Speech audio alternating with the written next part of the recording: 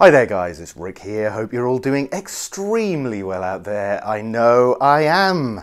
Hope you enjoyed the video at the start of this video. That's a little study that I put together so that I could work on fourths and triads and moving in different positions.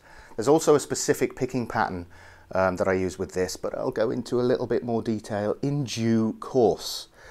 Um, firstly though, make sure you check out the website, uh, my website lessons. Link is in description box below. 30% off with the code RGSave30. So make sure you check that out and download some stuff. Hokey dokey, let's crack on with it. Um, so we start in the key of A. Basically, um, what I wanted to do is just use um, the cycle of fourths um, in order to, to practice triads. In this instance, uh, they're all major triads. Um, so we're going to start here at fret 5 of the low E, okay?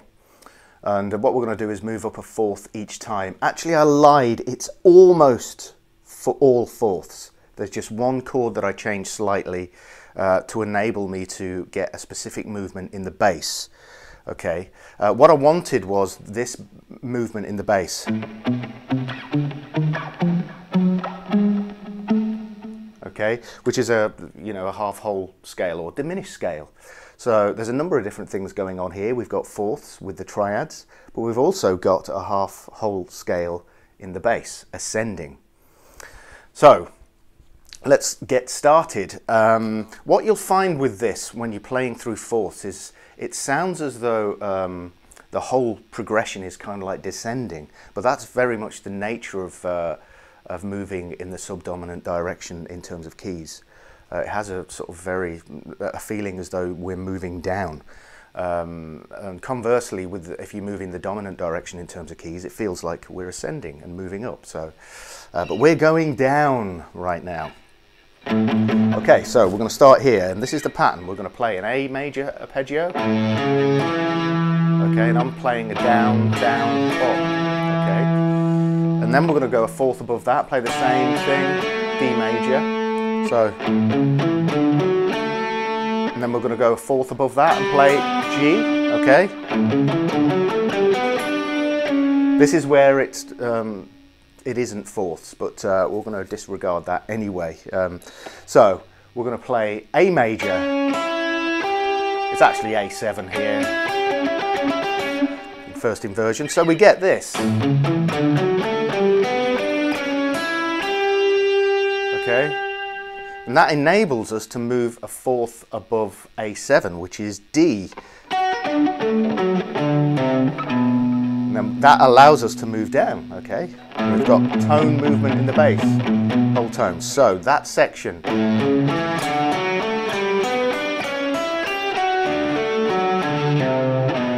Okay, now what we get here is we're going to change fingering slightly. So even though we could play it here, we're not going to do that. I wanted to do that on purpose, to change positions.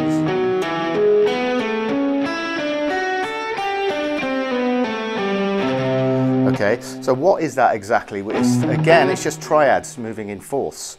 Fourth, fourth, fourth, oh, sorry, fourth. This time we are going to play a fourth above it here.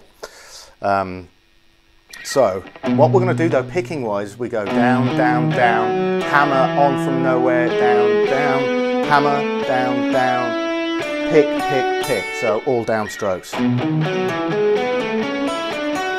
Um, you can pick this, you know, however you want, but I really like the um, the way that this sounds. So I'm going to show you exactly how I do it. So where were we? And then we're going to move to here, which is a fourth above D, okay, which is G.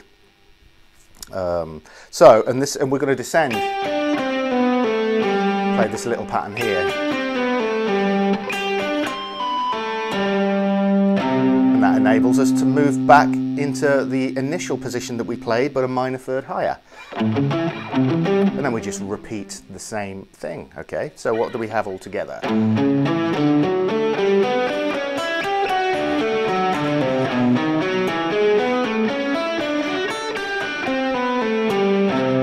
we're gonna repeat what we played down here up here.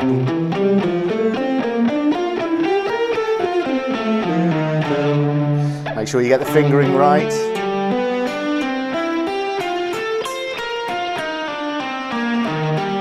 See what I mean? We're actually ascending pitch-wise through this progression.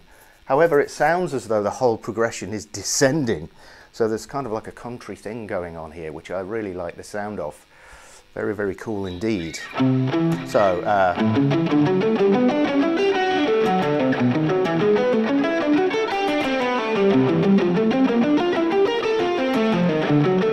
is where we got to. So we now hear, same thing. Yeah, be careful of this. We don't want the notes to bleed, so you can roll it, which is what I do. You can use different fingers, but I'm too much of a lazy git to do that.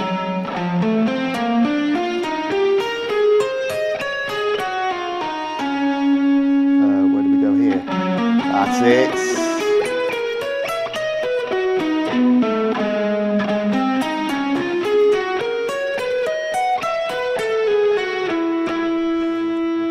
Harmonic there, and then we finish with this chord. Okay, so we got open A, fret 7, 6, open 4. Lovely chord. Okay, so let me play it once in its entirety, nice and steady.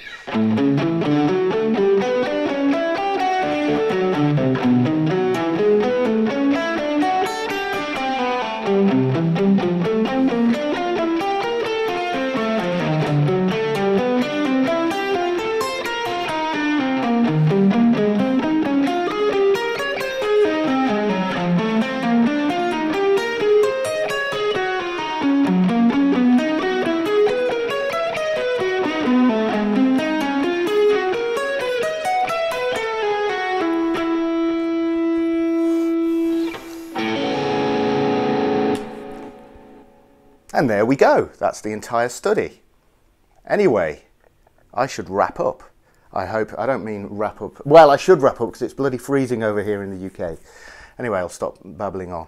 Uh, I hope you've enjoyed today's lesson. Make sure you take it nice and steady, control everything, make sure every note is nice and clear. Uh, try and follow the picking pattern that I've done if you, if you can. If not, don't worry, do your own thing. Uh, but hopefully it gives you, uh, it will extend your fretboard knowledge uh, somewhat. Anyway, hope you've enjoyed today's lesson. I will see you on Sunday. I'm going to do another video on Sunday of an Instagram post. Make sure you follow me on Instagram as well, because I'm posting a lot on there at the moment. All right, thanks for checking in, guys, and I will see you soon. Cheers.